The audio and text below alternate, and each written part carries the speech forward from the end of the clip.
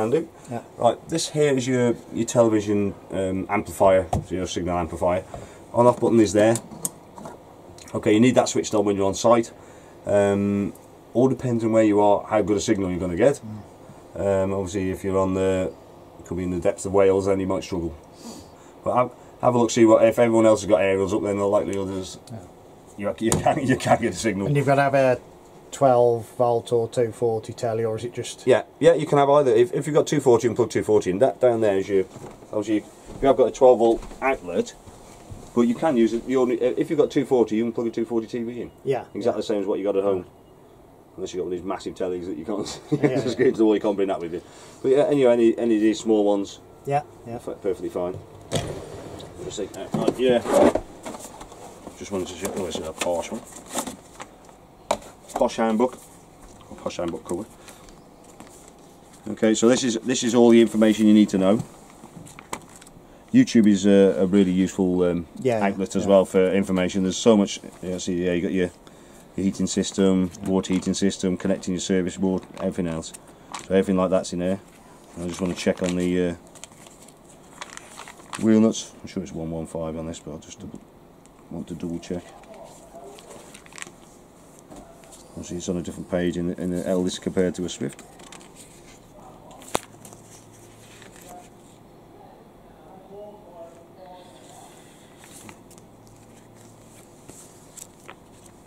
For a while trying to find that. That was a spare wheel, so it might be around the spare wheel bit.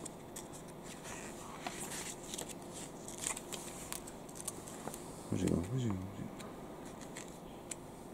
It gives you a lot of information. Ah, there we go. Good, we need it.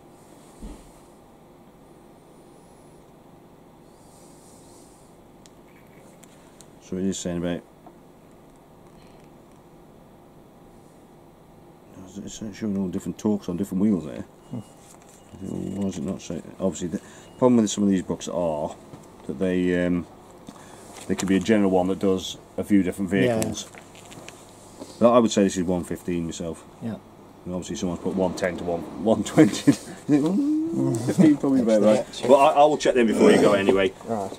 Okay, you have got other individual appliance books as well in there. Yeah. But that, that is your main one. That's giving you, give you the most information. Yeah.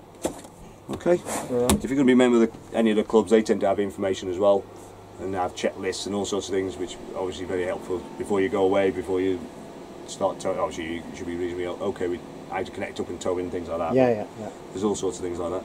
Your bed. See that there? That pulls out, Yeah. goes all the way across. See these these catches here. Obviously, that gets pulled past that, Yeah. and then all you do, if you see, it's just got a bit of a knee roll, or what we call knee roll on the cushion. If you tip it over so it's upside down with that bit against the wall, these backs they can just slot- in the middle, yeah, yeah. middle. Okay. Yeah. That's always fun in, uh, when you start to go about trucking cushions about. Okay. Happy Yeah. that? Yeah, yeah. Yeah. Um, just just looking up there. Right, you've got blinds. So that's your fly blinds. Yeah. And you can see that they are spring loaded. So the, the fly blinds will only fit in one one position. Well, you've got your ordinary blinds, which will fit into different slots. Yeah. Just be very careful. They come flying up and uh, knocking things off if you're not careful. Right. Um, also, don't leave blinds down because they're, spring loaded.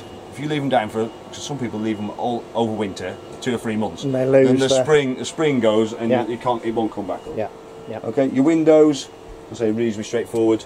You have got a a tightening thing there. Look, Right. all you do is look.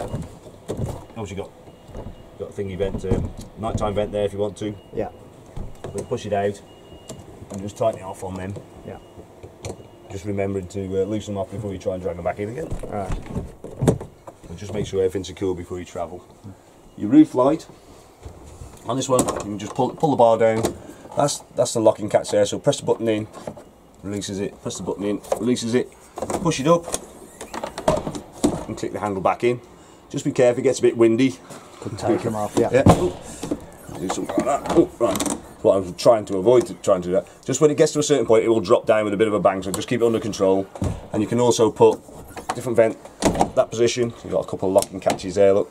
If it's raining, it can obviously still got a bit of a vent there. Or you have got nighttime vent as well. Just push it up slightly. See that there? It's got Yeah. kind of two levels.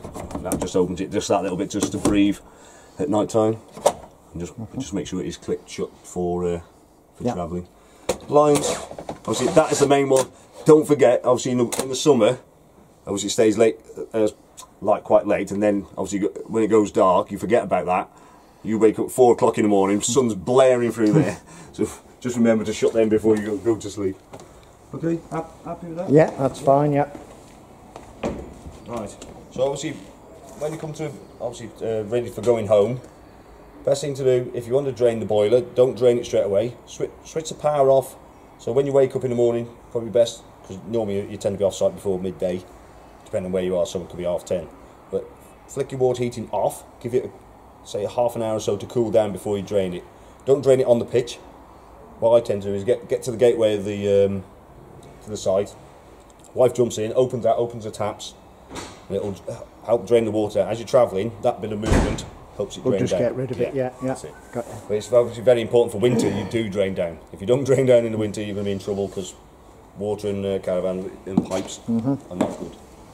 Okay, Yep. happy with that? Yeah. Yeah. Any questions you think of? No, I've- no, I've, it's, I've uh, filled your head full of so much information. No, it's it's all on here now. Yeah, so well, that's that it, is yeah. the good thing. Yeah. yeah, well, that's it. That's, that's, especially being new to it, is, that's why we offer this because it's Yeah. Yeah. It's good. something you can look back on and either laugh or or say, oh yeah, I, I can't remember what did you say about that. Mm. Obviously, again, you, YouTube is a, is a good source as well. We've been looking when you sold this before. You've had this in before and sold Right, it, and somebody yeah. came Partext again. Yeah. So we were looking at it on there all the yeah, time. You know well, what yeah, I mean? it's, it's useful. Yeah, it's again useful for videos like that or how to use videos. There's a lot of how to use videos you go in there Yeah. as well. Yeah. Yeah. Very, very, very useful.